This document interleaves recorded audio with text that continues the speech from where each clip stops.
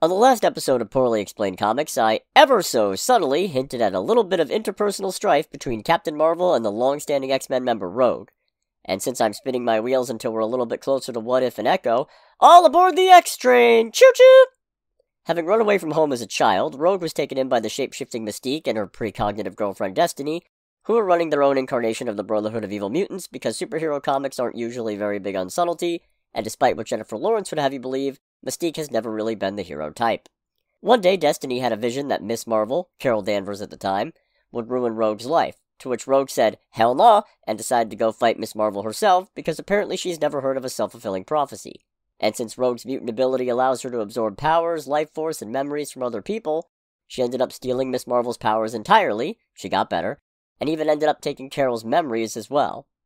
Rogue went on to use the Miss Marvel powers to fight the Avengers, shout out to Wonder Man for stopping her, infiltrated the Pentagon, this time only to be thwarted by Rom Space Knight of all people, and picked a catfight with Dazzler out of petty jealousy. She lost. By this point, having a whole other person's memories in her head was starting to take its toll, though, and Rogue ended up seeking help directly from the X Men. This would cause friction between them and Carol for a while. Despite the probably less than best efforts of Professor X, though, he is notoriously bad at every single one of his jobs. Rogue was still plagued by the copy of Carol's psyche, which would occasionally take over her body. Eventually, this copy of Carol was physically separated from Rogue after she came into contact with a magical item known as the Siege Perilous. The two shared the same life force, and each threatened the other's existence, but the situation was ultimately resolved by Magneto, who. Yeah, I don't want to get into his history with Rogue.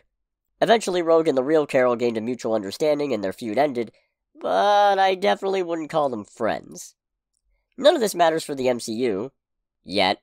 But who knows what the future holds? Especially since